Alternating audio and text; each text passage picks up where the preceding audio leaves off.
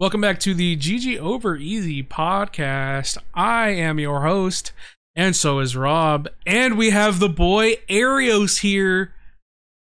It's Good to him, be back. the man, the myth, the legend. Uh, on today's GG Over Easy, we're going to talk about a little bit about Aaerios, uh, what he's been up to, uh, a little bit about his Twitch stream, the games he's been playing. Uh, we talk a lot about Cyberpunk, uh, how we feel about uh, the new Phantom Liberty, but more important, how Aaerios feels about it because he's been going in. Uh, we opened some Pokemon cards with Rob here uh, near the tail end of the uh, podcast. Uh, a lot of sports, a lot of, a lot of, a lot of talk about working out this stream or this stream, this podcast. We talk a lot about uh, fitness and stuff, and um, bunch of other things. Uh, You know how it goes. And let's see what Rob pulls from this Pokemon card pack we got. Graveler, and then we'll get into the episode. Arcanine, Rhyhorn, Oh, we got another Rhydon. Come on, baby, give us something good. Giovanni's, Giovanni's charisma. charisma. Whoa! Oh, and then man. Arbok EX. Rob's pulling some pretty good packs. I'm not gonna lie. That's clean, man. That's clean. Not bad. But yeah, all that and more in this week's GG Over Easy podcast. Stick around. Cold turkey may be great on sandwiches, but there's a better way to break your bad habits. We're not talking about some weird mind voodoo from your crazy neighbor or something even crazier than that. We're talking about our sponsor, Fume, and they look at the problem in a different way. Not everything in a bad habit is wrong, so instead of a drastic, uncomfortable change, why not just remove the bad from your habit? Fume is an innovative, award winning flavored air device, that, and that's just that. Instead of vapor, Fume is flavored air. Instead of electronics, Fume is completely natural. And instead of harmful chemicals, Fume uses delicious flavors. If you think about it this way, for me, Fume is like a herbal tea, while my other sorts of pens are bad sodas. I'm just making the right decision every time I'm using my Fume. Stopping is something we all put off because it's hard, but switching to Fume is easy, enjoyable, and even fun. Fume has served over 150,000 customers and has had thousands of success stories, and there's no reason that can't be you. Join Fume in accelerating humanity's breakup from destructive habits by picking up the Journey Pack today. Head to tryfume.com and use code GG to save 10% off when you could get the Journey Pack today. That's tryfume.com and use code GG to save an additional 10% off your order today. Um, ladies and gentlemen, welcome back to the GG Over Easy podcast, episode 201. 69. Mm. Um, um, as you saw in the intro, we are joined by our boy Aaerios this episode. Welcome, Aaerios. Good to have you back. Don't know how I actually don't know how long it's been since you've been here. I don't know, probably like maybe seven, eight months. I think this is my fourth time on. Yeah, good to have you back. I think so. Good to be see back. Dude, Thanks for having um, me, guys. Let's pump Appreciate those it. numbers up. Let's aim for like 10 by the end of the year. Let's get 30. Why not? So, a question I have for you, Aaerios, is I've Blue and I, I will say, are probably some of your biggest lurkers in your stream. Uh, or not, Hey, thank yeah. you. Dare uh, I say stalkers? Yeah, I'm I'm if you're playing uh my favorite stream that you play, um, which I think is one of the coolest games that I've still yet to play and kind of want to do is your super mega ultra baseball. Oh, yeah. Super Mega Um, Baseball 4, baby. And I think since we had you on, they um, they launched a new game. Um, and has that kind of been primarily what you've been streaming lately, or Super Mega Baseball 4, yeah, definitely. It came out in June, July, uh, August. I think it came out in July, and uh, I've have 429.1 hours in it. My goodness. That's a- sheesh? It's a lot of home That's runs. like and most most of that stream hours like yeah, yeah, most of it is stream hours for sure. Uh, but I mean, it's really just pretty laid back. It's chill, doesn't take itself too seriously, which is, you know, which is Um, why it's so fun to me. for those that don't know, and you know, I, I think a lot of sports games, sports video games are absolutely trash and are terrible Yes. and are basically just trying to get your money. yeah.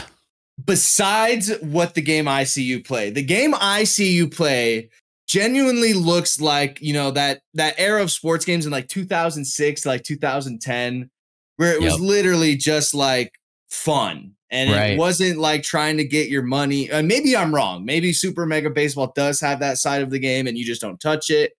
Um, but from what I can tell, that's the kind of sports game that like gives me hope for sports games and like in the genre. Hundred percent, hundred percent. You don't like you're not like a big fan of like EAFC, Rob? Like Fuck no, dude. Those games are absolutely trash. Like, like, like Madden, like FIFA, uh, 2K. You know, it's all the same bullshit every year. They regurgitate everything, but, but put like a different word on it. Like instead of like the physics engine, it's now the hyper engine. You know, it's all just like the same thing regurgitated because they know that the money isn't made by the franchise mode or 100%. whatever. It's all in the ultimate team. So all those Team, yep. resources and all their like time and effort is put onto those bullshit cards that just teach kids how to gamble at an early age. Um, that it is literally some of the worst. I- I- In my opinion, and I think this is like, I think I've said this before on stream.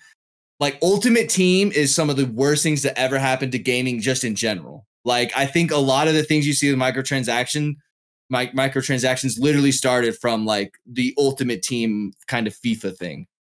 Hundred percent. I completely agree with that. I mean, like you said, like these companies are seeing where the money is being made, and obviously franchise mode, which is what I love. Uh, that makes them the initial, you know, sixty dollars, whatever it is, Yeah. to actually buy the game, and then that's it. But these my team modes, you know, the ultimate teams, the modes with the cards, trying to buy.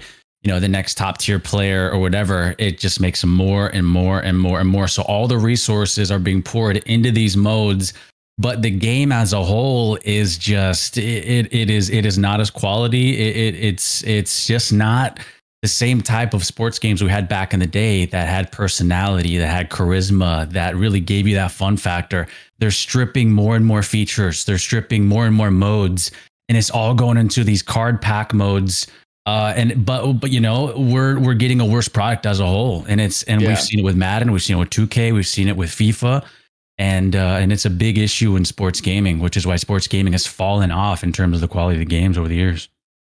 But that's where I was saying with Super Mega Baseball, it almost seems like it's Right. coming, trying to bring those things back. Am I right about that?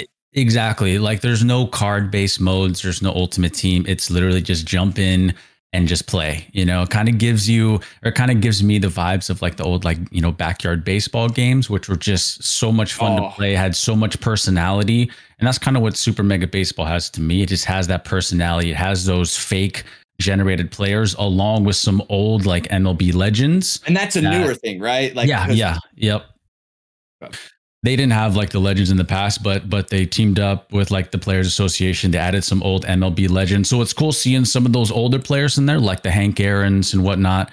David Um, Ortiz, I think, is like in there. David too. Ortiz, cover boy, but then you get these sort of uh, these sort of auto generated like fake players that aren't real, but have their own stories and personalities to them, to where you kind of become like emotionally attached to them. So. Um, so I mean, let, let, let me ask you, who's fun. like your club legend? Like, who's your club legend that's been with the the realm since the beginning? Man. Um, and like they're a first ballot Hall of Famer, Ring of Honor, like type of Tom Brady, if you will. So this actually goes back to Super Mega Baseball 3. I played 13 seasons of a franchise. We had this How many hours is that? Oh man, uh probably 900, maybe a Okay. thousand. But we had this pitcher. It was a reliever. His name was Ramen Noodle. And when I you make started, the names, are they random names like that? uh, as well? so they have random names, but you can also go in and edit the names to whatever you want. So I named him Ramen Noodle. Um, and we had him when he was like 23 years old in season one, and he stuck around all the way to the very last season, season 13. And he was the only player on the team that was still an OG from the very first season that was still there in season 13. And we wanted to send him out a champion. We wanted to send him out on top. And that's exactly what we did. Ramen Noodle, seven time champion, greatest to ever do it. Wow, seven Yeah. timer. so that's what I was about to ask you. Do you play on the hard difficulty, or is it basically like? Because when I do a franchise mode, you can basically like make yourself win the championship every year. Or Right, do right. you, or do you have like sliders that make it way more difficult? Well, that's the thing about Super Mega Baseball. They have a very like unique difficulty thing called the ego mode. Um, so basically, it's a rating from one to ninety nine, And unlike, you know, Madden or whatever, they have the rookie, the pro, the all pro, like the all star, whatever. Elite, this yeah. 1 to 99 rating can really allow you to sort of fine tune and tweak your difficulty.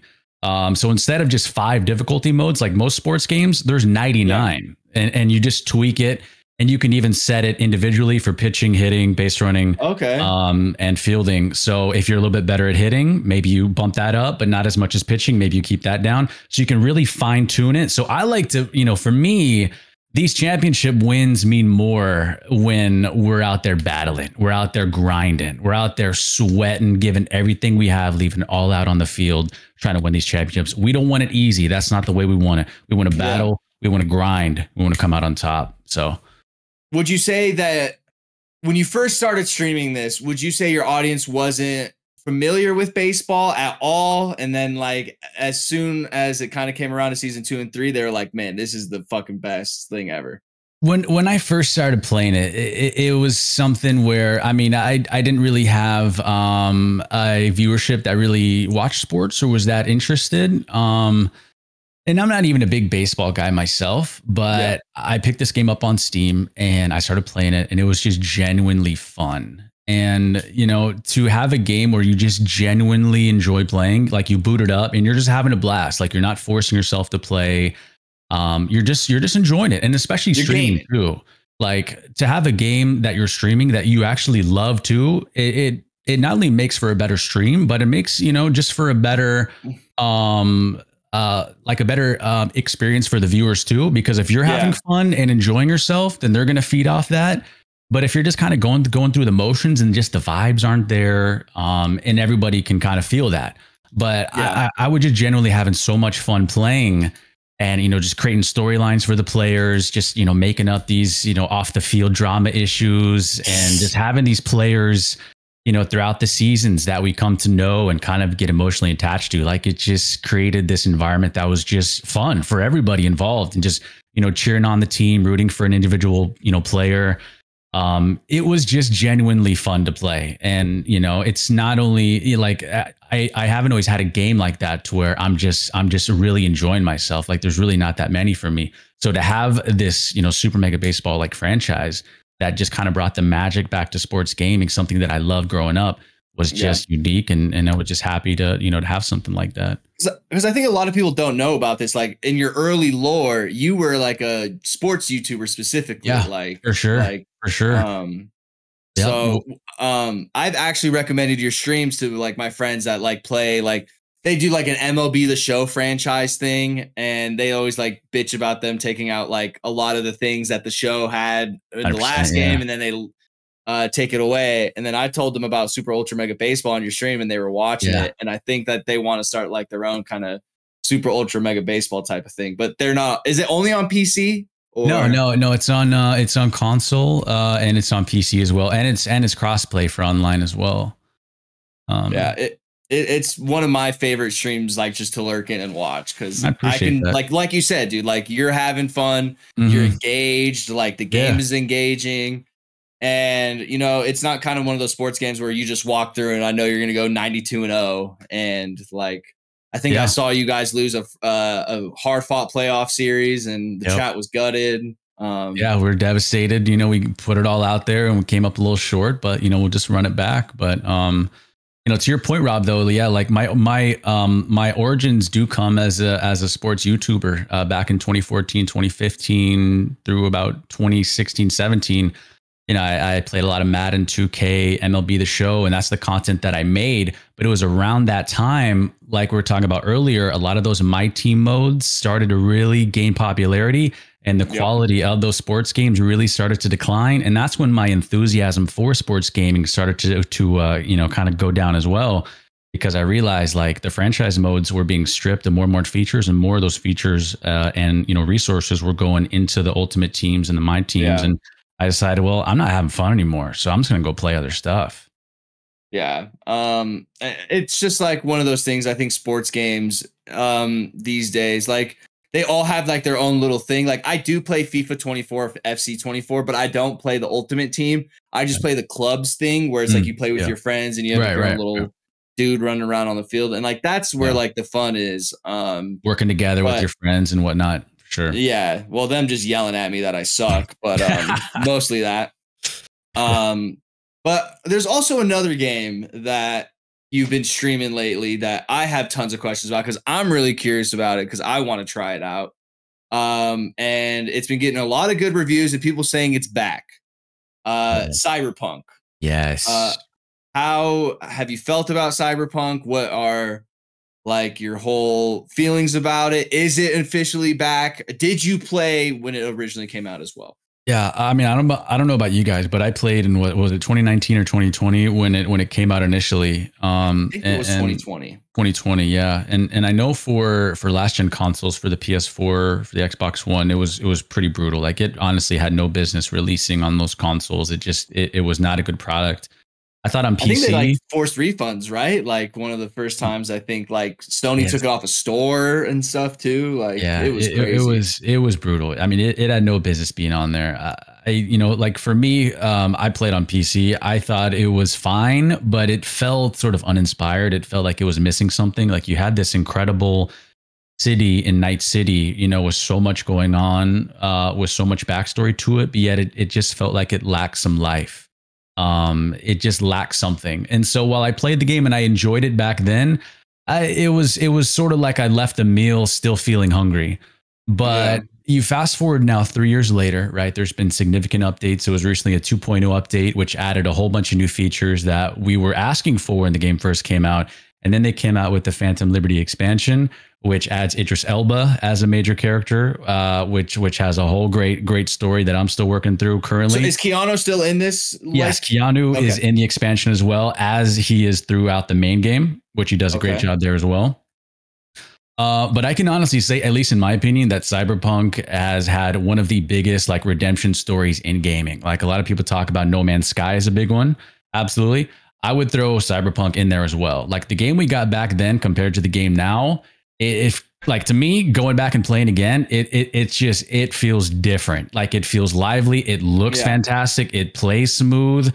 Uh, the story is great. Night City now feels like it has that life to it, which is And great. is, is this a DLC or just the base game now? Like, Uh, so the Phantom Liberty is an expansion, so it adds a whole Okay. new area to the map, uh, along with new missions, uh, with some new um, sort of like skill tree stuff.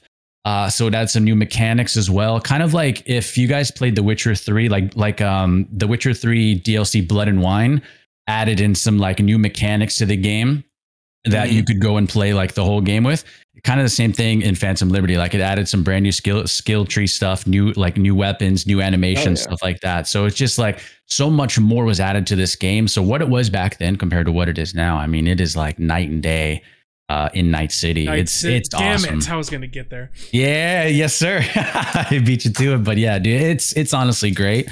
And you know, it had the it it was it was it was pretty brutal back then. I know it had a lot of bad press to it. Um and start out on the right foot, but you know, I'm glad they stuck with it rather than just sort of abandoning it and just taking the money and running. I'm glad they stuck with it and were committed to making a quality game. Granted, it took three years, right? It's unfortunate that it took three years for them to, Took a long to finally put it all together. That shouldn't be the norm, right? I don't want to give them credit for that, but I will say though, credit to them for sticking with it and delivering on what they promised initially. And I think it's pretty quality now. I'm really enjoying it. They they took an insanely like what can only be described as perfect path because not only did they release a banger DLC, they also in the year leading up, well, I guess the year and a half, two years, they had the that anime that just really Yes. popped off. Edgerunners. and they just kind of kept uh they've done like a really good job over the past couple of years of keeping the attention on cyberpunk even when it was in its downtime like even when it had the negative press they were still like yeah we're updating it also here's this banger anime also we're still updating cyberpunk also here's the 2.0 update dlc and we're updating a ton of stuff so they just they've had Yep. their they've they've they they, they the only way i can describe it like they they've kind of like kept their finger on the trigger ever since the launch even if it wasn't always like it wasn't always great sure but they really never there there hasn't been like a single moment where they're just like this year let's just not let's just let people forget about cyberpunk Yeah, yeah, that's true. And I Um, and I and I just saw a few days ago that they're going to make now a, a uh, live action cyberpunk movie. They're still well. going. They're not done. Yeah, they're, they're still not done yet, baby. So you guys talked about the anime. Did you watch the anime Aaerios? Uh, so I, I have two episodes left. I was recommended it, and it delivers as well. Um, I heard a lot of great things about it, and everybody was right. Absolutely fantastic. But like, I love how it, it it sort of ties into the game too. And then you go play the game, and they have stuff from the anime in the game now integrated. So it's like it doesn't feel like two separate things. It feels like That's cool. one like one world, and it's all in this same world of Night City. It's So just- you could like see it's something in the anime and be like, oh, I like that. Like, Yes. because like it's like you attach things to your human body, right? Like that's kind of the whole thing of a cyberpunk. So it's like, oh, that guy has like katana blade arms. I want Oh, that. dude, And Yeah. that dude's you got a can, robo like, dick. I want that. Exactly. Or or like the apartment that you start out in in the game is the apartment that the main character lives in in the sto- in, in the um, anime at the start. So it's Oh. cool how it's all it's it's really just in the same city and it's all sort of tied in together. It's it's really awesome. Highly recommend. Yeah, I'm about to start playing the Spider-Man games. Um, because I know the new Spider-Man's coming out, and the trailer for that looked really cool. And I haven't played Yeah. like a, a Spider-Man since like the PS2 days. Uh, so I'm, I Oh. really want to try out the Cyberpunk It- too, because like captured a lot of people in the same way the PS2 games capture people. So yeah, that's what kind of it seems like. Everyone is Their saying quality. something's like they're saying it's like some of the best like gaming they they've ever had, and like I feel that way about the PS2 games. Like I loved the PS2 games. Like I just don't know why I haven't gone back and played it.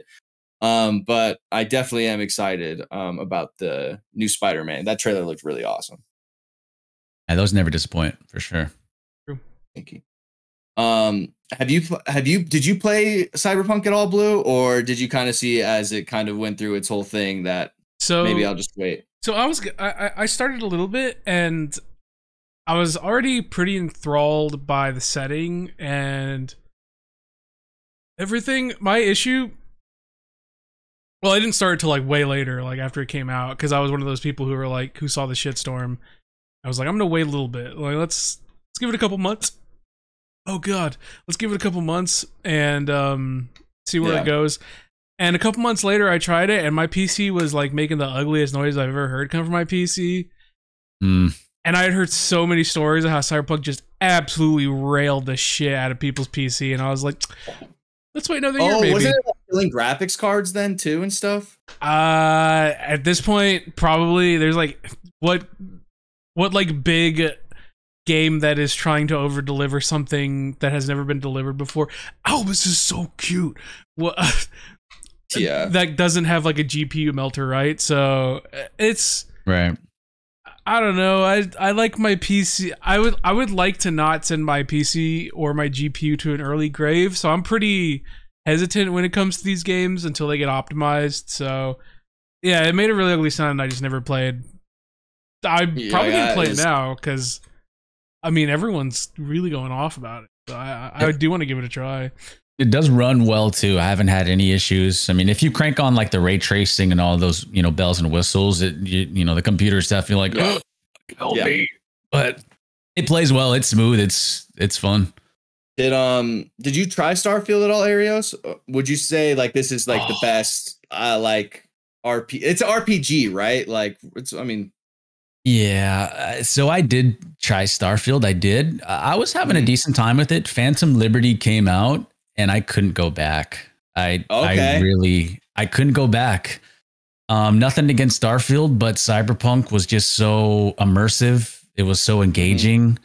Um, I couldn't I couldn't leave it uh, to go back. And you know, I mean, obviously Starfield is a quality game in itself, but Cyberpunk, you know, there are no load screen issues. Like everything just flows. Uh, Like everything flows, and and and I like that. I like that immersion of not having to go through multiple loading screens, and and and and that just I just like the way it all flowed together, and I was just so immersed in this city. It was it was Yeah. great for me. So I really want to try it out because like I haven't had that like RPG itch since like maybe Fallout 4 and even Fallout 4 when it first came out really wasn't all that what I was like looking for to sink my teeth into. I did try like Skyrim mods and stuff. Um and oh that yeah, I was remember fun. you playing that. yeah, it was a little confusing and it got a little bit too it got to be like too much when you add like 90 different mods onto Mhm. a thing. hmm Um, but I'm glad you like it. Is it primarily what you've been streaming lately? That uh, Yeah, ever since Phantom Liberty came out and the 2.0 update for Cyberpunk, I mean, plus there there's just so much to do. Like when it comes to CDPR, like when they do side missions, it's not just oh, like go there, grab this, come back. Like it's a whole ass like main story quality side mission where there's tough decisions and and all kinds of crazy stuff. So yeah, just you know, uh, with all the so new you still stuff. have a lot to go. Oh, dude, I got a whole. I mean, I haven't even touched really too much of the main story because I've been mostly doing like expansion stuff. So, I mean, there's Uh-huh. just so much to play, so much content uh, to be enjoyed that you know it's going to take me a while to get through it for sure. Nice.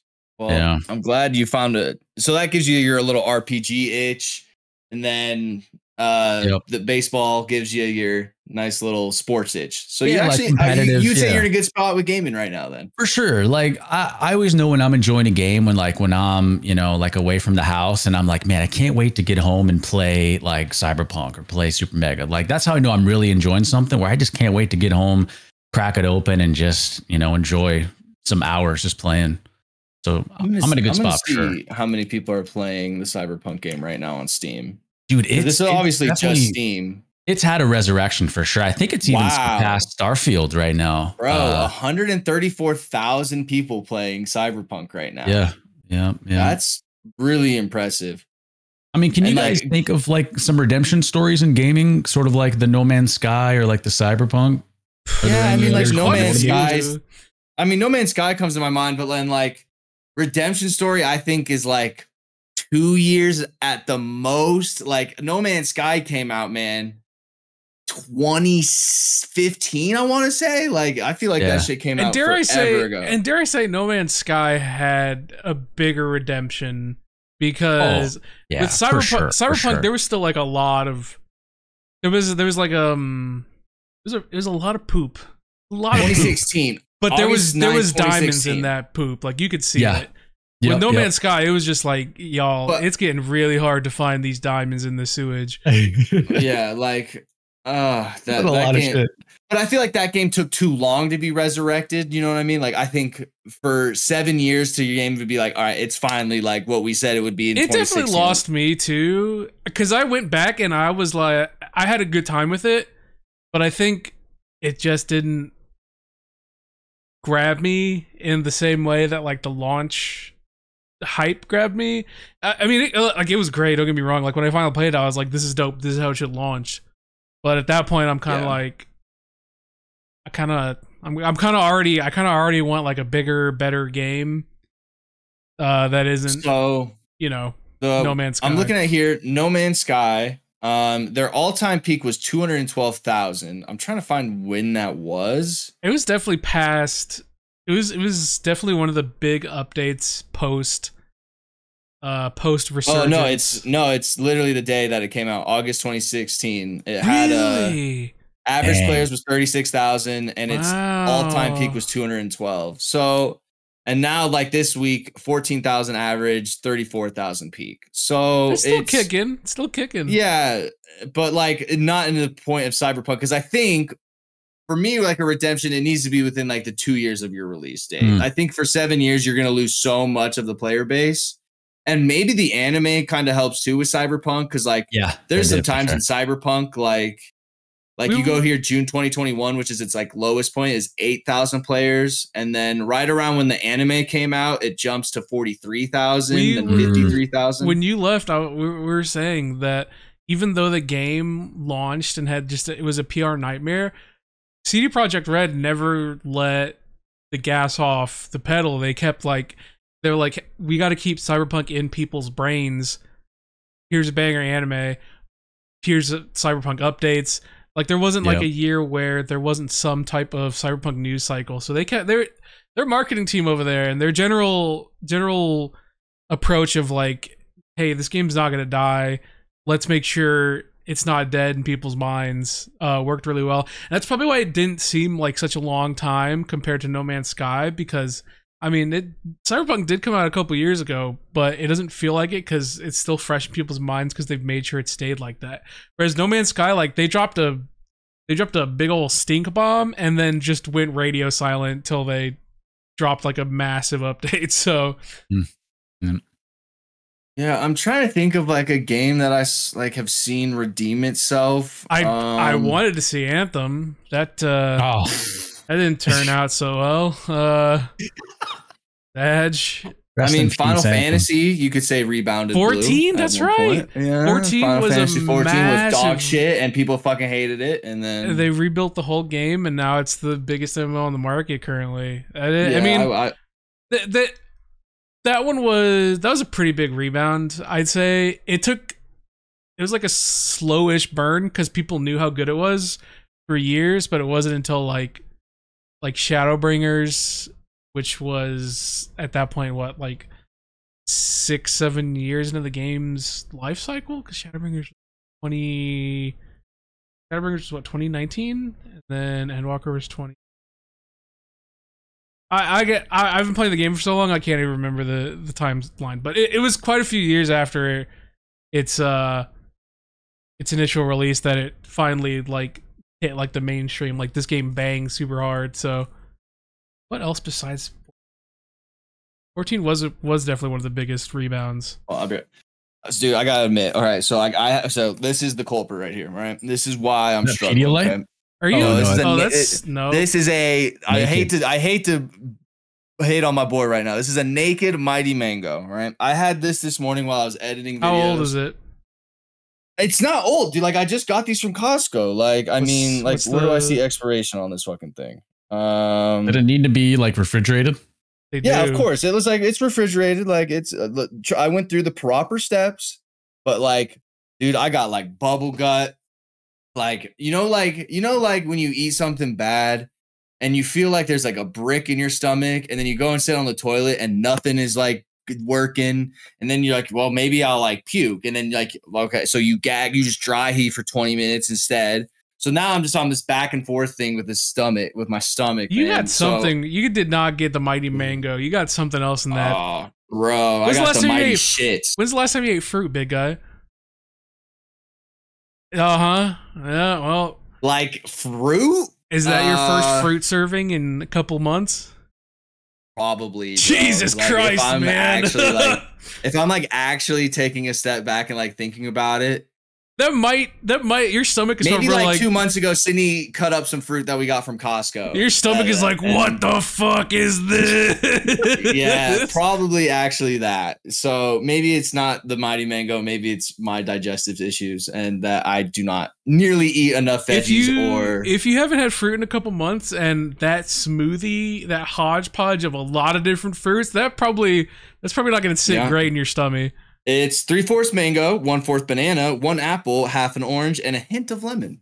Mm, see the maybe mango it's that hint. that hint of that did it. ooh yeah that's true could be Yeah, the hint so of I lemon am I am currently on the uh the struggle bus right now, which is why I'm gonna run up and Just- uh grab my heat pad. Um and hey, real quick though, uh kind of transition here into Aaerios's workout life. Um Aaerios, um, I recently weighed myself and have started to try and lose weight again. Um, and big ups to you, big guy. Um, Aaerios is like my workout buddy on my Peloton now. Um, yeah. me and Aaerios are gonna sit down every Sunday night and find what days work for best of us on the Peloton, and whether that's like a a 45 minute club banger, we're going after it, or a 15 minute post ride stretch because we both can't feel it that day. I'm going to get on the bike and no pressure to you, Aaerios, but you're going to get me in shape for my wedding. Like, Hell yeah, you man, let's are going to make me like shed this face fat that I have. Like, you really are like helping me a ton, bro. Like, I have been trying to get back on the wagon, dude. And you texted me randomly yesterday, like, yo, do you want to like hop on the Peloton? I was literally just like sitting here on my computer, like, and I was like, yeah, I guess I'll. Po-. So like, it, really big ups to you, man. Because like after I did that, it was like that was thirty minutes. Like it goes by quick. It sucks, Yeah. but then like I feel so much better. Like I feel like I don't know, like I achieved something. So big thanks to you, dude. That you are Yeah. helping me on my workout journey. Oh yeah, dude. Of course. I mean, it definitely helps when you got friends to help keep you accountable as you, you know, kind of encourage each other and and you know do it together. And because you're a dog, bro. You're a dog on that Peloton, bro. I have to hide my screen because like at one point I was like, I'm gonna keep up with Aaerios. Like I was like, I'm gonna keep up. and then like we're like five minutes into the ride. I think you're at like 30 points, and I'm like at 15, and I'm like, oh, he's already pulling away. Hey. we just started. This boy's pulling away. I'm locked in. I'm locked in. But do you, do you follow like the exact when he's like 45 resistance maxed, or are you always cranking that thing to like 50, um, 55? I mean, if if he gives us a, like, I mostly take the numbers as a suggestion. Like, if I'm doing the suggested like cadence or whatever, but I know that there's more in me, then I'll challenge myself and I'll and I'll and I'll push it up just because I know that I can do more. Um, and I'm trying to get the most out of that 30 minutes that I can. You know, I'm trying to push myself and uh and so I'll sometimes up the you know the resistance or up the cadence or whatever just uh just because I know that there's more in me for sure. So I kind of use it as a suggestion. So sometimes I go higher. Sometimes if I feel like I need a breather, I go a little bit lower. Uh, but you know, I'm definitely know that if there's more in the tank though, and I can really push, then then I'm gonna try to you know uh, get it out of myself for sure. Yeah, normally I can I only stay within the classes. I think there was one point where I was really on my Peloton shit and like really working hard, and then finally just kind of when I fell off the wagon, it was just like hard to get back on. I mean, my Peloton turned into a glorified coat rack. Like that's what I kept saying. Like that's all my Peloton is in my office. Like this thing literally sits here and mocks me. Like it sits here and just mocks me while I'm on my you. computer. yeah, like this thing watching you piece of fucking shit. Like, that's probably what it's thinking like while it's watching me. But I mean, just really thanks, dude. Like I really needed that, and like it, it, it's hard for me to like reach out because like I never want to be like annoying or like, uh, like now I'm in charge of like working out with this guy or something like that. Um, because I know you're a busy guy and you also like work out, work out. Like you go to a gym and uh I mean, do you go to a gym or do you work out in your garage though? I just I just have a setup in the garage. Yeah, so I got some weights, barbell, um, but yeah, um, bands, adjustable dumbbells, and then and then the bike as well. So so um, regardless of how I'm feeling with my stomach, I am gonna after this, like I said, I said before the Peloton, but then I realized we were going super early this morning. and I felt like shit this morning. Um, let uh with the peloton after this ride I, i'm gonna go for it dude like uh, let's get it but like i'm also not trying to burn myself out too i think i told you this yesterday i still have the fucking mentality that i'm a 15 year old and I, i'm wicked athlete and can fucking run a marathon if like on, on a whim because i'm a soccer player uh newsflash robert you haven't got out of this fucking chair in three years so and then when i go to my peloton i like I'm gonna be honest with you, bro. Like I was pushing myself to try and like get a good time and like a good workout in, bro. Come minute two, minute one left, like in the thing, bro. I'm gagging. Oh, yeah. I'm I'm hurting. But like I kind of like that feeling because then I feel like I, I achieve something. Like yeah, I know I'm not supposed yourself. to normally work out to the point of gagging. Like that's not a healthy thing. Um, but I'm also not trying to super burn myself out by doing that. So like today's workout, I think will be a little easier um, than our club bangers ride yesterday. If you're cool with that. Of course, man. Of course. But you know, it's all about just building that endurance, being consistent over time. They'll get easier and easier.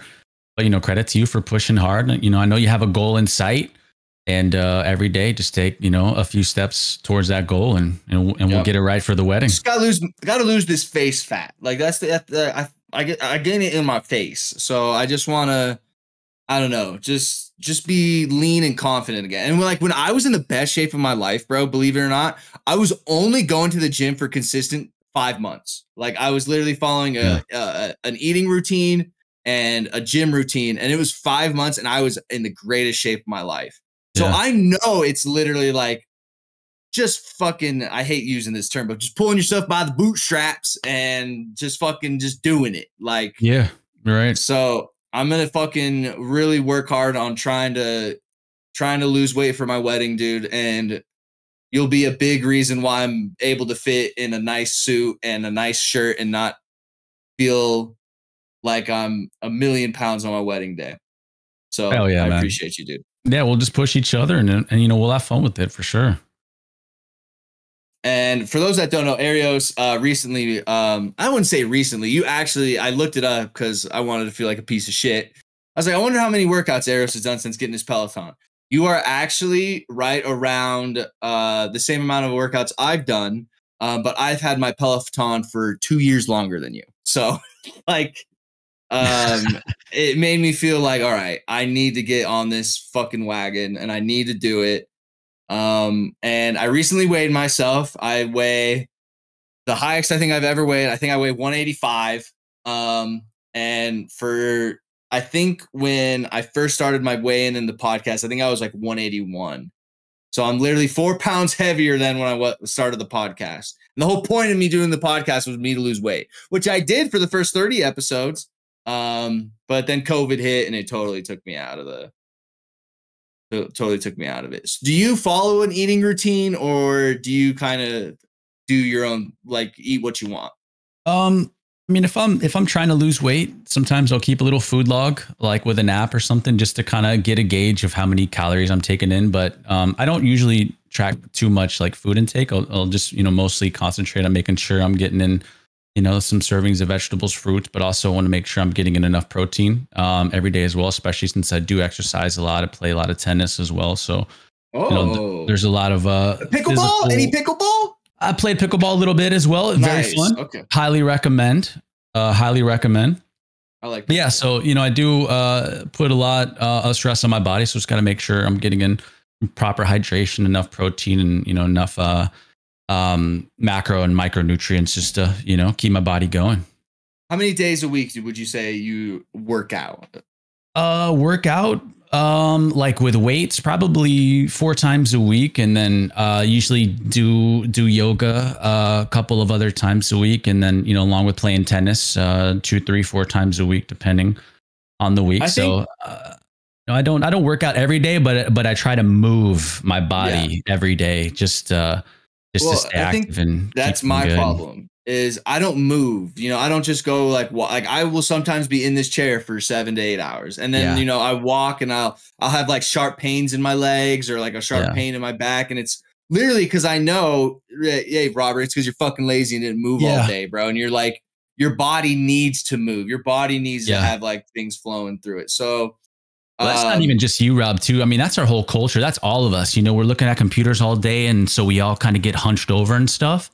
Um, but it's good for us to take breaks, especially during those long work hours at the computer. You know, every hour, get up. You know, maybe maybe stretch out a little bit, especially the hips. When we're sitting down a lot, those hips tend to shorten.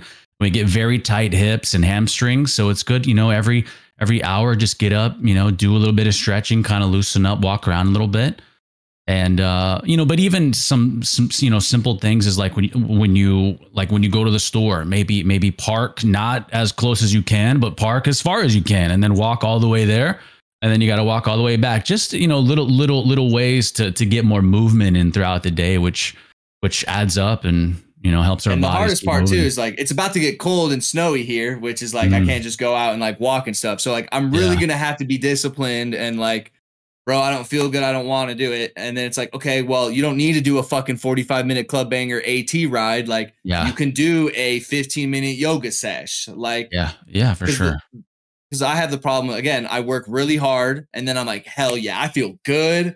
I killed that workout. I still fucking got it. Like if I, if if you call me to go and do something, I can do a 45 minute club banger. Like I can do it. But then like the next day comes around, I'm literally like the fucking alien from Mexico that they thought, thought they found, and I I can't move. Like I can't I can't move.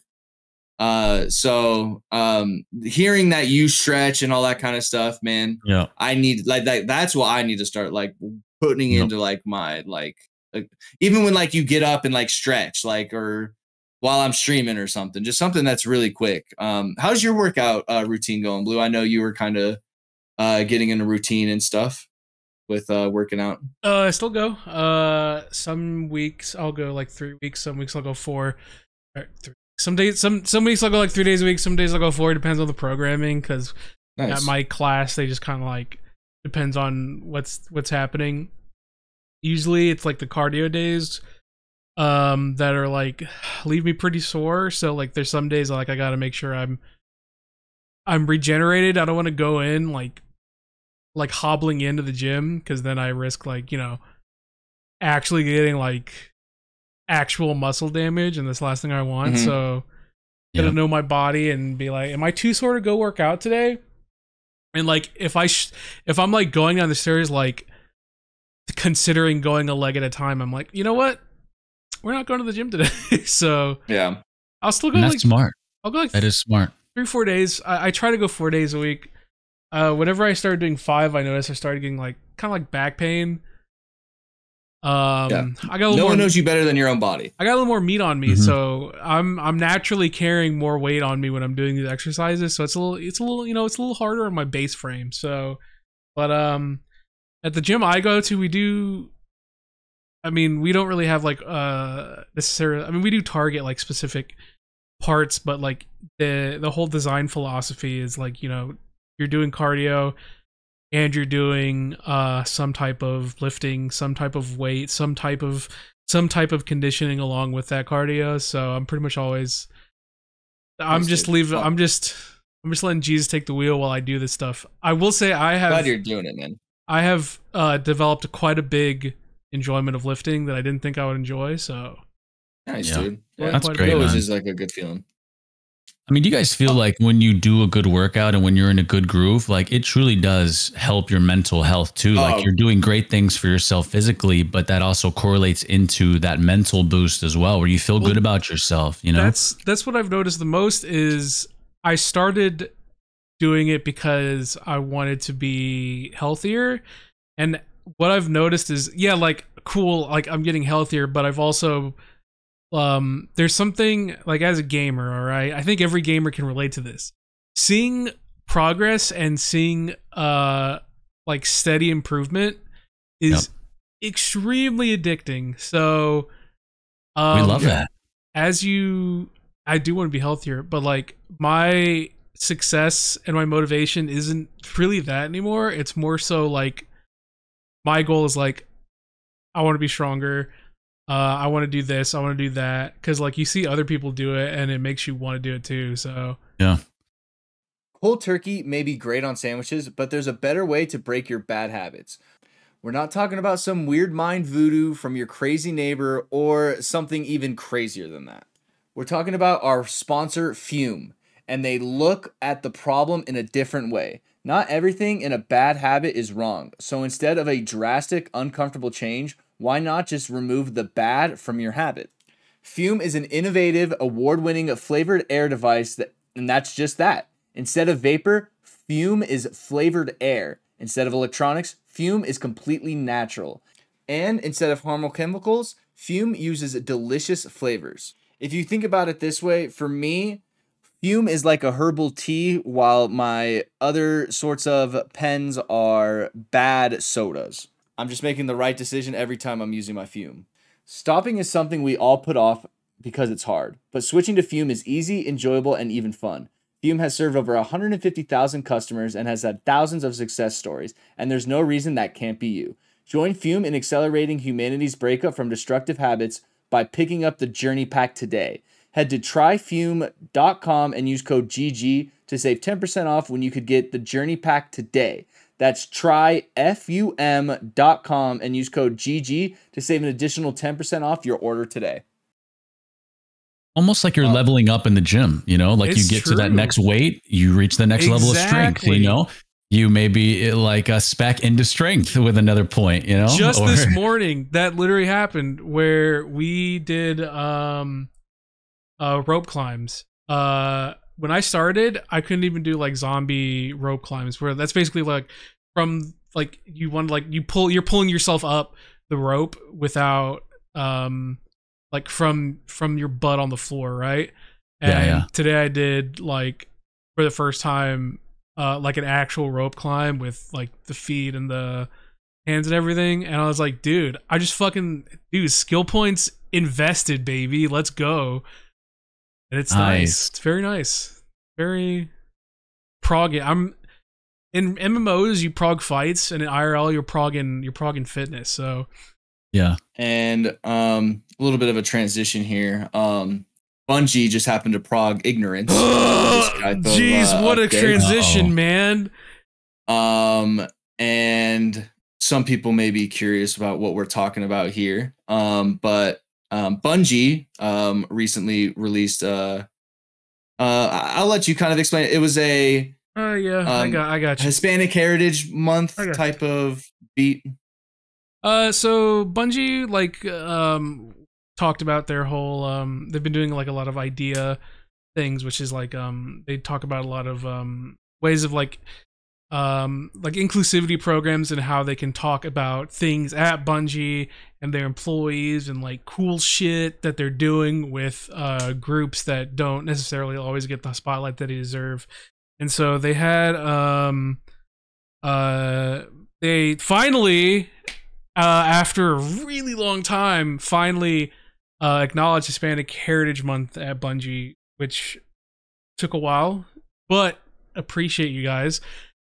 But they um they the tweet was basically like um uh I have it right here. If you would like me to leave, you you uh, go for it. you go for it you you hit me with it. Um, being Latina, Latine, Latino, or Latine, um, is more than just a location on a map. Just as being Hispanic is more than a language we might speak. We are proud to introduce our newest idea, Latin, at Bungie, and with a link.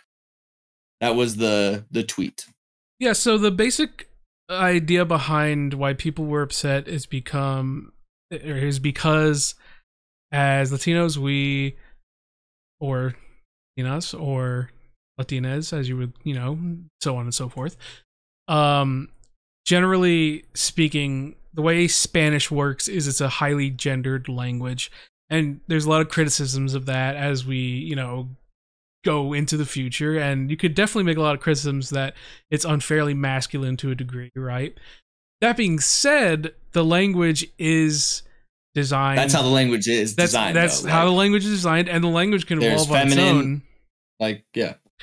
And so the X is uh, solely in English insertion, and that's why so many um, that's why so many Latin people don't identify with it. And if you asked, if you ask like some random on the street, like, "Yo, what's up? Yo, uh, happy Latinx uh, heritage," they're gonna be like, "What the fuck are you talking about?" Because one doesn't make sense, and then two, it's just such um, it's such a niche. I didn't even know how to read it. It's such Like, a niche I- like- term, and I mean, full stop. The term is really culturally insensitive because it's not from the Spanish language. It's fully an English insert. Um, it's predominantly inserted by people who are from the United States, so uh, uh, you know, Latin Americans from you know the upper half of the globe. Um, and so while there's nothing like inherently wrong with the concept of wanting to identify to English speakers. The issue is more so how it's been pushed on to Spanish speakers of like this is the term Latinx, but um you know there's already been other terms like Latine which is a much more phonetically grammatically culturally Yeah. respect uh driven term that allows gender neutral people to engage uh in that way and um I mean, I made a whole tweet about it, and I was like, "Bro, just call me a slur," because, because I mean, it's it's like it's like um, it's it's. I'm gonna I'm gonna I think my I think you put it in a good term. Uh, You put it in a good way of phrasing it for me. You you said it's basically like if like Hispanic people told people like to roll your R's if Yeah, you're speaking it's English. like it like you're literally like inserting that yourself in R- the language. that- that R in your language. You got to roll that, bud. It's like, bro, I speak English. Don't give a shit, bro. Roll that motherfucking R, bro. So it just doesn't Yeah. really make sense. Um, and also like, I'm just gonna be full stop right now. Um, Go for it. I'm just gonna I'm just gonna go in. Keep it a Spanish buck, chief. Spanish is generally identified by uh, the northern hemisphere homies as a generally brown language. You don't see people like pushing on like uh, the German language or like uh, um, any other like uh, Norwegian or uh, I don't know fucking Swedish, Swedish. Dutch. You know they don't push that on. They don't like say like, "Hey, this is how you should uh, refer to people neutrally." They don't do that because those are white, predominantly white languages. Um, and this is a recurring thing with any uh, predominantly brown perceived language. Is people are kind of like, "Hey, like this plight is more important than the significance of your language culturally." Um, and it's just like, hey, we could definitely do both. Doesn't have to be like this is more important than that. Thus, that is not important anymore. So, um, I don't know. Like, it's was it- the issue that like Bungie's post all of a sudden seemed like totally out of touch and like okay now now you're saying this but you're completely out of touch Well, with what you're saying. it's out of touch because a lot of Latin people just like don't like the term because it just doesn't make sense. Nobody who speaks Spanish uses the X, and it's like um I don't know. It's like some random white dude telling you like like oh wow you're a Latin X. Some people even say shit like Latinx, and I will throw myself off a cliff. I'll throw myself off a cliff. Watch how fast I can kill myself, bro. And so it's like, hey, you're this, and it's like, no, I'm not. And they're like, but you definitely are. It's like, homie, just call me a And- slur, then, man. Like, ju- if you're I- gonna all, if you're if you're already pushing this on me, like, this is what you are, bro. It's like, okay, man, just Yeah. just beat beat There's the shit out of me. So beat the shit out of me, so I can get get on with my day, man. Like, And I think the also worst part about this is, you know, it wouldn't have been a big deal if Bungie immediately was like, hey, like, we see our bad, like, we didn't understand. We tried the, like, you guys are right, we're, we're wrong. Instead, they just started hiding replies Oh, that yeah. were Mm. like basically saying, like, well, we don't like that type of thing. I just thought it was a, a Well- entirely like a, just missed the ball. so so the reason why they're probably not gonna address it, and it's pretty tough, is You don't think they'll ever address this? Oh no, no, they're not going to address. It.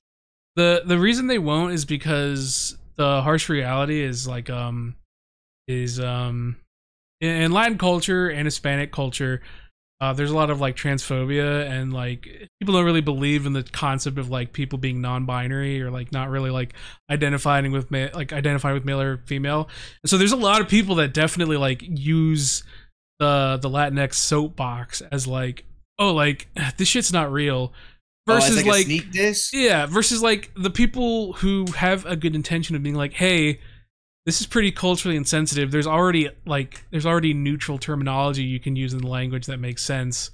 Um, so the reason why it's not going to be addressed is because you have those people being like weirdly like transphobic and like homophobic and and those people like tend to be like um they kind of muddy the crowd and the and the overall message of hey can you please respect the language that represents so many like latin hispanic people across the globe um so it's it's just it's tough because you have like especially from like a corporate situation because like at the end of the day corporations always skin deep in the way that they want to Yeah. represent people so when you have like a community manager skimming through the replies and you have like you have like um i don't know john deere in the comments being like uh wake up liberal oh woke hive mind uh there's only two genders and then you have like someone else being like hey man like I, this just feels kind of culturally insensitive he's not going to be like huh this seems culturally insensitive the person's going to be like oh man john deere is being homophobic together. again so There's always something. yeah, exactly. So it gets hard. It gets hard to see like who has good intentions and uh who wants their language to be respected versus um well their language and their heritage to be respected versus um yeah some people just kind of like fucking it up for the rest of us. Well, you know, and tough. you know, Blue, I I have a lot of respect for you, dude, because you know I I reached out to you in a text. Um, you know, my Hispanic roots is something that like I feel I have lost touch with, and it it really affects me, and it sucks because you know my dad was born in Colombia, my whole family lived in Colombia, like before, like. I'm a first generation Venegas born and raised in America. And what sucks is I have completely lost touch with like the Colombian side and like you know, recently my Fia and my Togo passed away, which is like the only kind of like connection I felt like I had with my Hispanic side. Let it out, Rob. And and now like my my my dad's trying to sell the farm that we have in Colombia.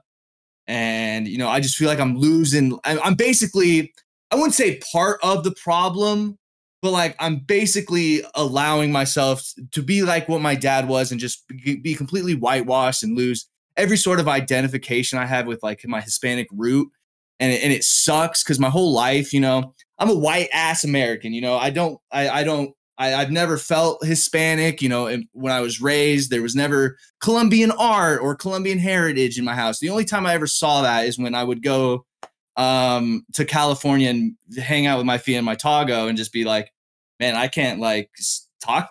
You know, I you know what really sucks and like one of the biggest regrets I have in my life is, you know, I never took Spanish seriously enough to like thank my grandparents, you know, for the sacrifices that they made or like have just like a deep level conversation with my grandparents. It was always surface level because all I could do was speak English and like they knew I couldn't speak Spanish. So like I was I, I feel like I was like part of the problem and you know, like losing a side of me that like I've never really felt like I even was in touch with. Uh so like I reached out to Blue to kind of like figure out like how to like just get in touch with that side and stuff. So I'm gonna start Duolingo and I'm gonna get very serious about it. I'm gonna go and try and visit Colombia with my dad. You know, my dad always bitches about going to Colombia, always bitches about it. But like, I want to go with him and like see like why he's bitching and see if I can like tell like and show him the beauty of the part that he fucking hates or something. I don't know. Like, I, I'm really gonna just try and like just kind of get back into that and because like I've never, it's always been like a weird kind of touchy subject for me because I feel like if I did identify myself as like Hispanic descent and stuff, it's like, nah, dude, you're white. Like, Well, I mean, you and then are. I don't. You are. Well, yeah, like I, Hispanic. but like, yeah, I like don't want to like, to, like, no, like I'm actually Colombian. Like my real name's Roberto. Like I always felt like it was weird to like have to like justify myself or like put myself into that kind of spot. But like, you know, like my real name is Roberto. Like, you know, like your last name's I Vegas, am- bro. yeah, like You're, I, I you're just with us. I just feel like you know my whole life I've like lost touch of that side and it like kills me. Uh so I'm going to try my best to try and you know you know respectively get in touch with those roots again, you know. Um and just try and figure out like you know my family's history and shit, you know what I mean? Like I it, it was it's just like a something I've always kind of struggled with and recently with my like grandparents passing away it was literally like, okay, like I have to like, because my dad ain't gonna do it. You know, my dad was like, "Hey, Robert, I moved to America in the 1960s. Like, I, I'm American. Like, that's how his idea of, of it just is. So, Yeah. um, I really appreciate you, Blue, like listening to me and talking to me about that. It was really cool. it's hard Right. Because it's hard because like um Darius, you can relate to this heavy. It's easy to be in touch with your culture down here in Yeah. San Antonio. What up, San Antonio? The two one zero. Los Spurs. Tony Parker. Down City. Tim Duncan. Like Yeah, easy, easy. it doesn't get more mayo and vanilla than It's, Colorado. it's easy so- down here. It's easy down here, even when Oh. you are, you know what, little hueditos, right. You know, I could feel that. We where, you know, little white boys, but like you, your parents are, your parents got that Latin heritage. They got that, they got that Spain in them. They got that that Mexico. They got that whatever. And you know, like it's it's easy here in San Antonio because like always, always representing Latin culture, always representing Hispanic culture, always like, hey, celebrate that shit. So it's easy, like it's super easy. Um Yeah. everyone down here has some level of Spanish, even if you've never taken a Spanish class. You gotta order those breakfast tacos somehow, baby. And and it's just easy. Like it's easy for us to celebrate our culture down here because this city is all about celebrating the culture. Whereas like you're up north, you're in Colorado, hot, literally hot, as white as it could be, baby. Like you, you don't have like opportunity to celebrate it. We have like eight Yeah. different events down here. We have Dia de los Muertos. We have the Riverwalk is just the mecca of of Hispanic culture, Mexican culture. Uh, down here, it's Little Mexico, dude. Like we got Market Square, um, eight million Mexican places constantly all the time, and every single one of those Mexican places, is like, dude, celebrate that shit. We got Mateo over here. Aaerios, Aaerios, I'm, I know can relate to. Maybe he doesn't look traditionally like what you think like Hispanic or Mexican person or Latin person looks like, but like Mateo's Mateo's in it, baby. He knows his he knows his culture, his history. It's easy. That's it's right, easy man. for us. Easy for me. I'm a little little mestizo bastard, and it's just it's you- easy.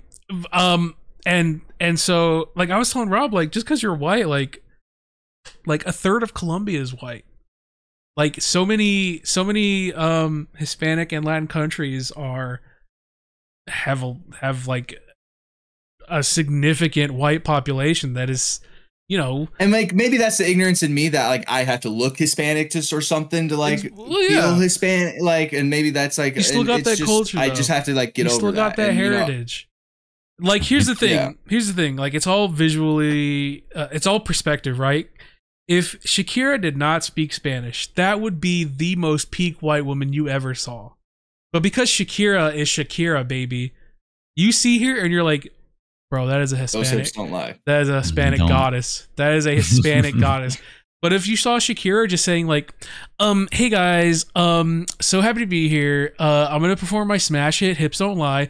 You'd be like, did I say this on YouTube? I could definitely say it on you. You'd be like, Yes, fuck it. cracker. No, she's still Hispanic give you the talk. goddess. You're good, bro. She's You're still good. a I'll give you Hispanic goddess, dude. So it's like a lot of people don't realize that Hispanic heritage is more than just the color of your skin. You- it's where you come from. It's the Rob. You got that white skin in you, baby. You colonized my people. Have pride in that, baby. Because you're Gotcha. still a Spanish speaker, my guy. Doesn't matter. That's my mom. So she's from Oklahoma. Doesn't matter. Doesn't matter. You still, you know, it's still part of the culture, and and it's still part of. and like that's my thing is like uh, like my hispanic it's like not fa- like my dad was born in the 60s and was like lived in like my whole family lived in colombia up until the 1960s up for 60 years ago. And it's like it took 60 years to completely like i feel like my ancestors would hate me you know? Like that's what i, I really str- do you feel anything like that Aaerios or do you or mateo right? Um do you come from like a hispanic background and stuff I do. Yeah, my mother is uh, is full Hispanic. Uh, my grandparents were from Mexico, and uh, yeah, so my my my birthright name is Matthew, but my family is always call uh, call me Mateo, uh, which is the Spanish uh, you know version of Matthew.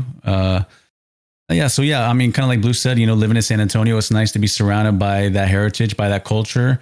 You know, you, you know, you uh, you know, you get together for you know Thanksgiving and family outings, and you know everyone's together. it's not just and, turkey; it's uh, tamales too, baby. Like, it's yeah, easy. uh, yes, sir. Yeah, you know, absolutely. i got you know, so- cranberry sauce at mine bro Ah, like, cranberries. you know. What the?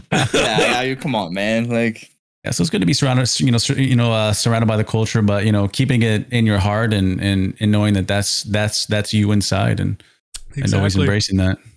yeah. So It's hard gonna to do embrace. some Duolingo and and and really try and like get back in touch with us. So and, and like I talked to my dad about it. I said next time he goes to Colombia, like I want to try and go and kind of just like learn about it. Uh, because whenever he goes to Colombia, man, like all he does is bitch. So like Mm. I want to see if I can like maybe like show him like well, the like the awesome parts and stuff. You- You, you- know, like Yeah, it, as you know with parents right like the the whole concept is like how they struggle to get what they have now right my dad as mexican as they come like you like he is just just ugh. you see that dude and you're like dude you probably racial racially profile that dude easy easy you definitely racially profile that dude because that dude is mexico and a man but that dude shit talks his culture constantly. That dude's like, ugh, Spanish, such an ugly ass language. But here he is, half his he speaks Spanish like half his half his day. He's a truck driver. He's going all around Tejas, baby. And it's like when you actually like talk to your fam and it's like like they're still like they don't even they don't realize how big their culture is a part of them because they're just in it, right? And yeah, even though my dad will absolutely shit talk every part of his heritage, like he's still in it. He still has pride in it, and Yeah. he still wanted to pass it down to me. Um, whereas it's my mom listens to this. I'm sorry, mom. I, I'm gonna blast you a little bit. My mom is my mom is Spanish at heart. It's easy for Spain to talk about how much they love their culture because Spain is, you know, conquistadors. They're the colonizers they're the peak colonizers so they of course of course spain as a spanish person you're like i got that spanish pride baby. Yeah you got that spanish pride because you annihilated the bottom half of the hemisphere real easy. So you still got the hispanic you still got the hispanic dog in you but you know it's it's different right? You have different perspectives on on your culture and your heritage so Um, but yeah, like eh, I mean, like even if your dad bitches and moans about Colombia, like there's still details and and finer, you know, finer parts of his life that are where you know his culture and his heritage is so ingrained in him. He just didn't really pass it down to you because he was like, I don't want my, you know, I want to let my son, pat you know, make his own path, blaze his own trail.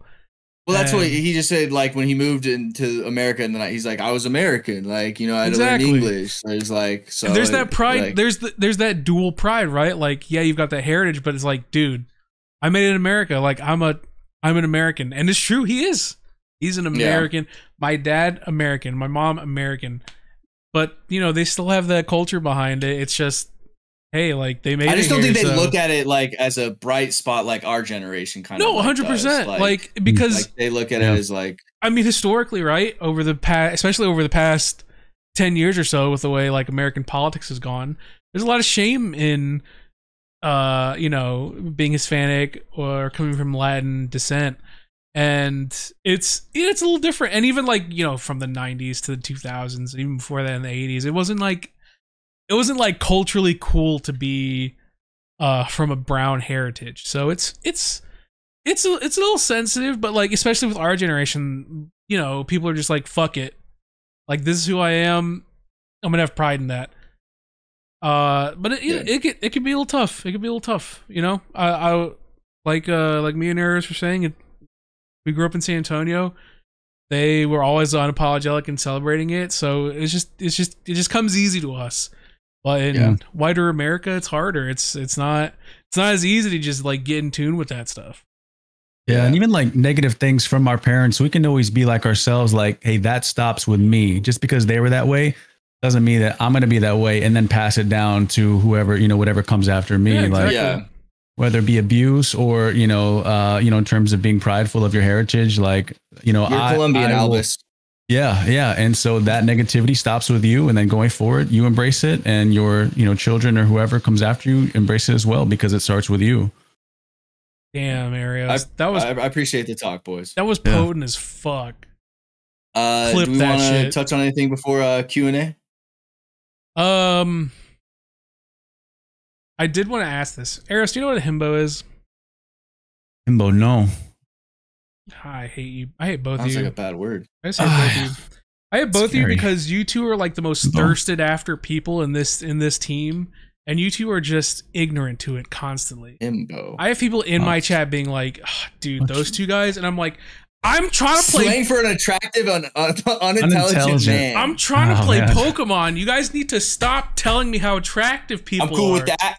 That- get it, get it, Rob. Get that I'm cool with confidence. that. no, but like Ugh. uh, Aaerios is like a big like uh, golden retriever of a human. He just doesn't understand. Neither does Rob. Just the absolute. I think I'm very okay. the insane very amount of thirst. I have to deal with, and other of us have to deal with when like people are like talking about attractive. Now I'll tell you what. If I stay on this workout routine, I will be Get it. definitely be a him. Get it, He's, Rob. he's gonna get it I- right. I will He's- get back into my. He's gonna himbo go from an eight to a ten real quick. Yeah, like I'm, you- I'm back at my seven two stage. I can get back to my eight five nine phase. I really can. Yeah, I'm just, back to my seven. I'm just curious because eh, eh, when you guys are like, why don't these people understand it? I'm just like, trust me, they don't understand it. They just don't get it. You got Himbo no over idea. here, DP Himbo, and Himbo is like a very like endearing term. It's like, I mean, Aaerios, you can definitely agree that you are a big, goofy, muscular, uh, towering, gentle giant, and you're that's I mean, a if you Himbo. say so, I I, I really Look, appreciate see? that. See, I- I- just like that. They're so humble. It sucks. It's just the worst because you guys are just the humbleness just makes it even harder. Stop being so lovable, you two. You guys are freaks.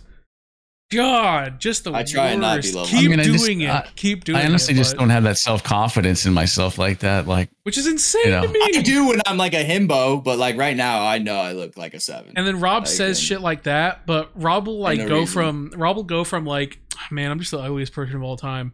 But then he'll flip the switch and be like, ah, dude, It all if I have a good hair day, bro, and I feel like damn, This my man is actually looks good today, it's unstoppable. On. I was watching uh the David Beckham Netflix series, and like if Hmm. I could only be half as sexy as that man is, like sexy guy. Yep.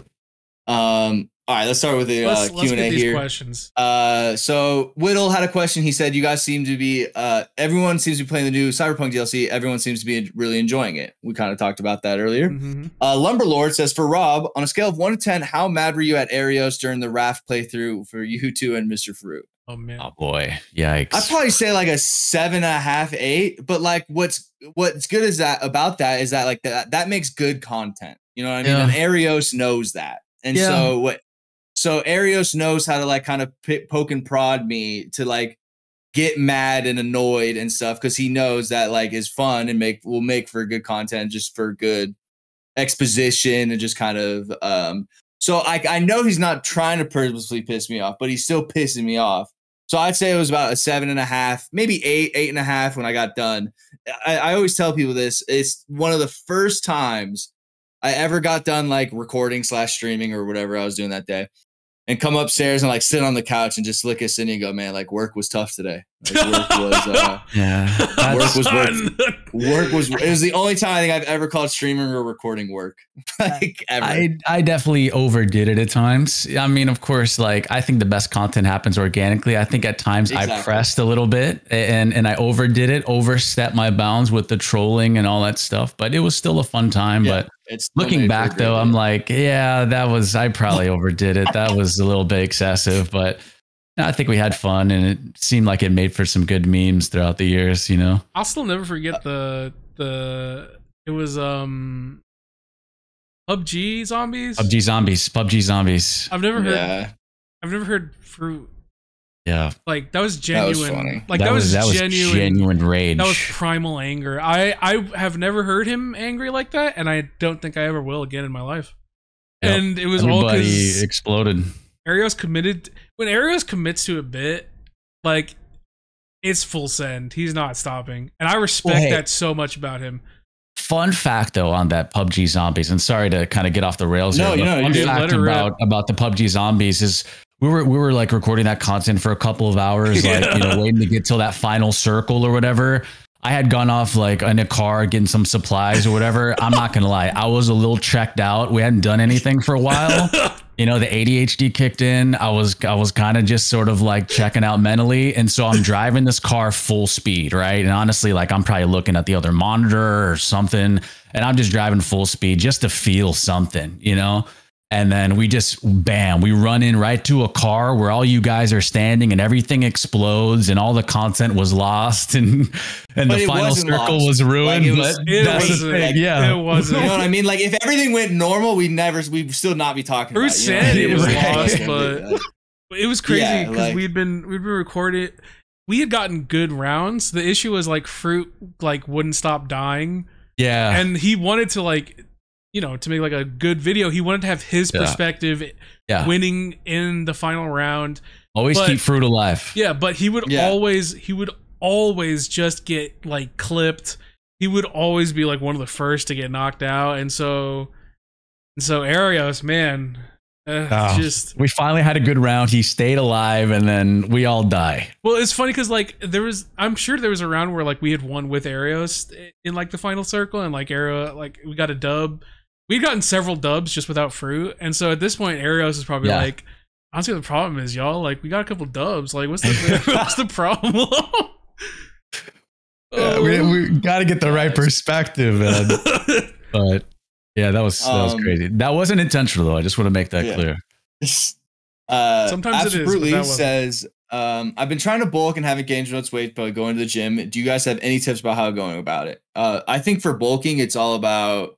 Protein uh, powder. I could be wrong. Um, low sets, high weight, and then a lot of it is what you're eating as well, and a lot of protein. Protein. Like if you're trying to bulk, like low low reps, high weight, um, and a lot of and a- most of it, believe it or not, is what you're intaking, like food, protein, all that kind of stuff. sure like because sure if you're you- trying to, oh, go ahead. make sure you're eating that protein right after your workout too, big Yeah. guy. Because that or or right before. I think I don't know like the exact sign. Most Yeah, most of mine most of my recommendation is like right after your workout, get some of that protein in. the science behind it is you when you're ripping your muscles essentially you're building scar tissue like that like builds like your muscle or whatever if you're not taking in the protein necessary for them to build those like muscles like your body's just going to eat away at the muscle itself and like your fat as well so um and the other thing in like bulking too like fat isn't always a necessarily a bad thing as well um that can also kind of help you in bulking uh, but Arios would probably have the best kind of advice. Oh, I mean, really, yeah. Just stay consistent in in training, uh, for sure. Just just find a routine and stick to that routine. Um, if you go to like if you go to a gym, go into the gym with an idea of what you're going to do, so that you're not just kind of walking around wondering, okay, let me do a little bit of this, a little bit of that. Like go in with a plan and execute that plan. But I mean, like like you guys were saying, it it. I mean, um, you know, a lot of it is the nutrition side. And when it comes to bulking, you have to be in a caloric surplus, which means you have to be eating a lot of calories. But you don't want a dirty bulk, meaning that you just eat whatever you want as much as, you know, Yeah. as you want. Like you want to you want to be eating a lot, but you want to be eating good quality foods too, but you know, definitely getting in enough protein and eating as much whole foods as you can and not as you know a bunch of processed stuff. I mean you can still build muscle eating bad food but that's not great for your health. It's it's not going to you know it's just going to make losing that weight harder down the line because um, you're going to be adding on more weight eating eating you know foods higher in fat and carbs and, and everything like that. But just eat food train hard and stay consistent and and you'll and you'll make progress for sure. Um, we have one here says, "Have y'all uh from Gradient says, have y'all thought about doing GG over EZ merch? Would love to rock a content hoodie as a collab. Also, loved the raft content with Aaerios. Uh, we've talked about it. I just don't know what it would look like and um all that stuff. Um, I always thought it would be cool. Um, so at one point, at some point, having like a Blues Squishmallow, a Mr. Fruit Squishmallow, and then a Rob Squishmallow, and then and then having like a GG over EZ plushie set that you could buy and you could place your plushies into this like little figurine, if you will, and then your little plushies would be having a podcast. But that is like a stupid idea, and but that's really the only. I don't think it's I've thought dumb, but it is it is hard to to pull off. Yeah, it's crazy. Yeah, it's crazy. Um, Chaz says, Aaerios, what are your goals for the realm this season? Loving your content as always. And for Rob, how goes the wedding planning? Man for super mega baseball for i mean for the realm we're we're in season three season one we lost in the uh second round in seven games. Wow, early early bounce. season two we got no actually season one we got bounced first round. Season two we Okay. lost in the second second round or something like that. So first two seasons have been disappointing. Season three it's championship or bust. We got to get over the hump but it starts you know starts with me. Um, wedding planning's going great. Um, we're in the steps right now of looking for a DJ at the moment. Um, there's this funny troll DJ. Her name's DJ Mandy on TikTok. If you guys ever look her up, um, she just makes these awful remake remixes, and I want her to perform at our wedding so bad. Um, so shout out to DJ Mandy. I'm gonna hit her up. Uh, Kiefer says, "I know Aaerios is a physical specimen, and Rob ha- was was a baller at soccer. Appreciate the was. Uh, has the idea ever been brought up of having a one-on-one game of basketball or panna for Rob? Wait, know, wait I feel like I could- like i wouldn't. wait, wait, wait, next what, fruit summit what do you mean? What do you mean like like uh I think it's me versus Aaerios. I think is what they're trying to. It, it would be Um, cool, like a fruit summit. Like we have like some three on three, four on four soccer, or like you know, That would be That'd be kind of fun. Yeah, some like sick. you know, pickleball, whatever. Dude. Let's Just know do in the soccer it. game, I'm passing it to my teammates every time. The less I have the ball, the better. Dude, let's I do think it. it's. Let's I think that'd be really fun. let's let's. Well, I don't see why not. Let's do it. It'd be fun. Yeah, we got some athletic people in in the dream team. yeah. Yeah, we could do like shirts for Uh, his skin and like Aaerios like and some Fruit sort are of, like- Aaerios and Fruit are always on the skins, but like you know that'd be cool. Like some Uh, sort of Crystal obstacle course or something. uh, says, I've asked this before uh, to the guys, but I'm curious about Aaerios's answer. What does your gym routine look like for the week? Um, how do you I'm actually motivated very each curious time? about this. Uh, for me, I typically do two upper days, two lower days. So I'll typically do um, a lower, upper, lower, upper for four days. I kind of work that around days that um, I'm going to be playing tennis. So I typically don't weight lift on days I play tennis. I usually play like three, four times a week. Um, so one day may overlap, but you uh, belong to a tennis club or is it just a local like? no, I I just go to the local courts. I got uh, some friends that I've met just at the courts and stuff, and we we try to get together and play. I used to play in a few leagues and stuff like that, like a doubles league, um, and a couple singles leagues. But I usually just like to go out there and hit around, um, which is always fun. And then uh, usually I'll do just for mobility and longevity uh, and general mindfulness. I'll usually do yoga like on any days, uh, like on any off days. So I'll, I kind of take my off days like an active off day. So uh, you know, I might not like lift weights and stuff, but I'll do some yoga and you know just focus on breathing, focus on stretching and mobility, just to stay, uh, you know, limber and uh, and mobile as I continue Would- to get older. So- Would you say that's one of the most underrated aspects of your like working out is like the stretching and the mobility yeah. part of it?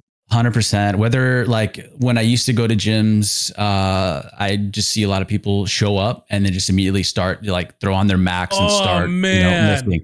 That just it drives me insane because eventually those people are going to get hurt, and then you get hurt, then you can't do anything for a while, and then you fall off the wagon, and then you got to start all the way back over again.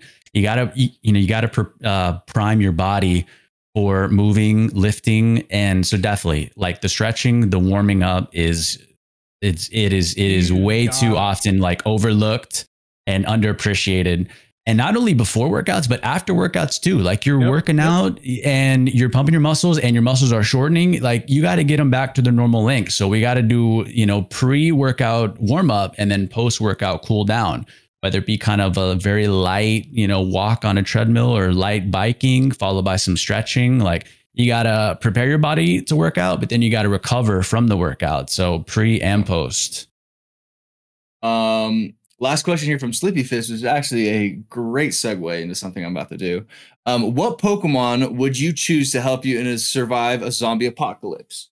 Well, Wow. I'm gonna choose mine from whatever Oh, get from this Hey, uh set. Um, let's go. Blue. I don't know if you want any of these, but I uh, will take every the- single one of those.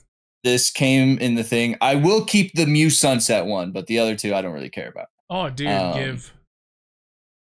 So Rob, is this going to be the first card that you pull, or is it going to be like the, whatever the, the the secret rare would be, or Okay, or okay, whatever the the, secret holo rare. is. Yeah, Okay, so these are the the, cards. Yeah, I don't know what exactly we're looking for here, but we're looking for something. Uh, so I'm just gonna grab this one randomly here. Um, do you know blue in this set if it's um like what like is it big to the back or Uh, they ch- it changed recently. I think it's like three from the back, Ah, some shit like that. They changed it from like from Scarlet Violet onward, so I might have forgotten. I think Okay, it's three from the back. It used to be four. Okay, so um here's this for anybody that wants it. There's a green code thing. Rob has been watching some openings for it to be able to Um, know that. I respect that man. so so what do I do? Do I go three, three, you and put then the forward? three. You put you put the three from the back to the front. I think. Okay, Oh, Aaerios, it should be Oh, he's back. it sh- it I'm back. should be the card, right? I think the or yeah. Uh, then you then you just like from the front, just like go through them. It should be. okay, okay. We have uh, a Marowak. I Oh, know if you guys fuck. able to- Is that holo? Uh, yeah, that's holo shit. Oh, did we mess it up then? Well, you got the Marowak. I think we did mess it up. Oh, okay. Um. Oh yeah. Okay. So I'll put that in the back. Okay. So we got basic energy. Pretend you didn't see the Marowak. Let's go. Got basic energy. Uh, Farfetch'd. Uh, Shellder. So who, whoever I guess is the Pokemon, the coolest card is who I'm taking. Uh, fe- uh, fossil. Uh, Slowpoke. Uh, Hitmonchan, one of Mr. Fruit's hated Pokemon. Oh, Dewgong. I love Dewgong. Dewgong the homie? Seaking. Sea The King? goat. Vileplume. Oh, oh, wait, huge. Let's go, incredible. Rob. That's What is Dragonair. Could you not ask for a better one than that for a zombie guess we get- apocalypse? I guess we get Dragonair. for Wait, the that's zombie actually apocalypse. that is a beautiful card too. Damn. Okay, Rob. All I Is love that a right. good pull? I love that for I you. I would say that's a pretty good pull. I mean, it's not like most card. The only card that's like worth like money money is the Charizard alt art. But that's a that's a pretty wicked first pull, man. Like All right. Dragon Yeah, and then I think sick. I'm guessing the uh the Marowak, yeah, the Marowak Yeah. is uh behind it. So uh all right, I'm taking Dragonair uh to sur- help me survive the zombie apocalypse. Just fly over the zombies. We're chilling. well, Dragonair is a noodle, so unfortunately. Oh, you can't fly. Yeah, you His- would think his that- ears fly, right? You would think Dragon Air would be, you know, fly, but it, no, it's just a big pool noodle. Oh, never mind. What is your what is your Pokemon knowledge, Aaerios? Like um, what? it's I'm- not very extensive. I know like like the big, you know, the big ones: Charizard, Blastoise, Mewtwo. Uh, Is this where I put my cards blue in this thing? That's like a deck box. Yeah, you could you could put your big pulls in there if you want. Okay. Do you have any? Do you have any like sleeves or anything, Rob? No. I would. I would. Do they have probably any have sleeves in there, right? Uh do they? Uh-oh. I In don't that know. box, maybe. Maybe something. Uh it has this. Um a play mat. Well, that's not a sleeve. is there like one Um, like most powerful Pokemon? Yeah, Arceus, the the Yeah, he's like god, God. of Pokemon. He's got sheesh. This is kind of cute. Arceus? That's cool. That was I like good. that. Yeah, he's like Jesus for Yeah, animals, or Pokemon Jesus. Pokemon Jesus. Yeah, if we're talking about con- Damn. like if we're talking about like statistically like in game the strongest, it's it's Mega Mega Rayquaza. Mega Rayquaza, Mega Rayquaza, the the beast. Mm. Uh, okay, so who you guys taking in the zombie apocalypse? Sorry for taking that. I thought it'd be just kind of fun to open one, and we got a decent pull. I don't want to be. Che- I don't want to. I don't want to cheat and be like lol Arceus because then he could just like that's. Yeah, like having God is uh is definitely gonna have its own its own uh benefits. The apocalypse.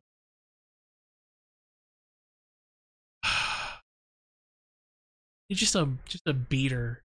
That'll just. I need a morbid Pokemon.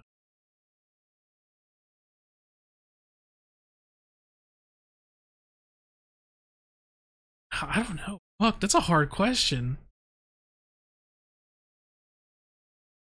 Uh, dude, this is hard. I don't know. Go up. Uh, I'm gonna say.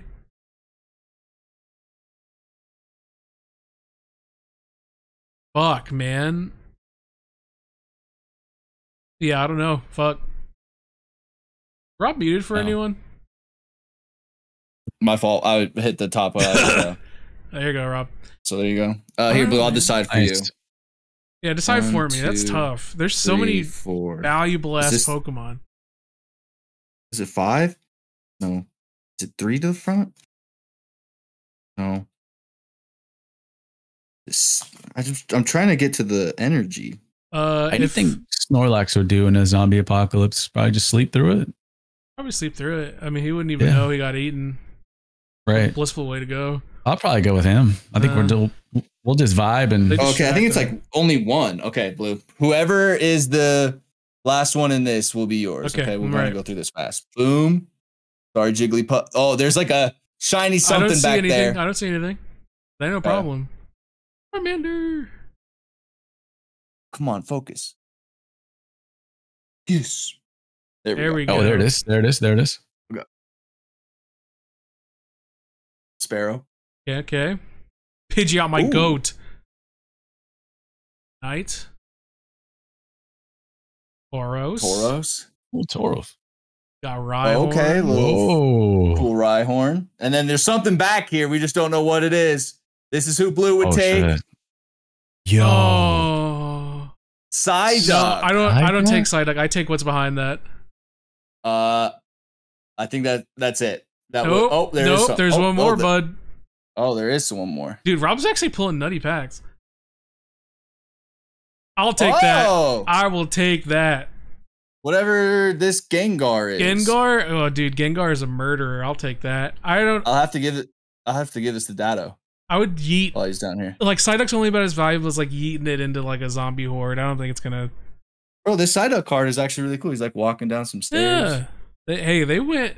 They put their whole Pokemon Ussy into this into the set. So Yeah, they did a did a nice job with that. oh yeah. What does Would you like me Gengar to- do that would make him effective in the in the zombie? Uh, in general, he's just kind of a soul stealer. Um, you know, he does some. But zombies don't have souls. He's kind of a, say. but he's also a ghost type Pokemon, so he's he's instantly invulnerable to all zombie type things. Wow. Oh. But he's also, I mean, Gengar can like, you know, with his eyes, he could stun people. He could just yeet out like little mini nuclear bombs with Shadow Ball. You know, he can. Gengar also has an insane move pool. He can use shit like Thunderbolt and Ice Beam. I think he could use Flamethrower. Gengar is pretty broken in in a zombie apocalypse. Yeah, Um, like that. all right. Uh, Aaerios will decide who yours is with a pack. Okay. How about that? Here we go. Yeah, sounds good. Um, If I shoot anything, Rob's gonna get another banger pack. Okay. Um, here's uh this for the people that care. All right, all right.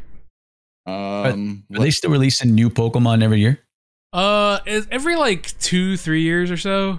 Um, as uh, as new generations come out, they'll release new ones, and then like they have like a little remix thing going on where like they'll they'll remix old Pokemon, but like in a different region. So Hmm. So there's hey, Pokemon's Pokemon's eating right now. Makes so much. yeah, and this is like the one, original 151. So for boomers like us, Aaerios, that don't really follow Pokemon anymore. Ooh, I like this Squirtle card.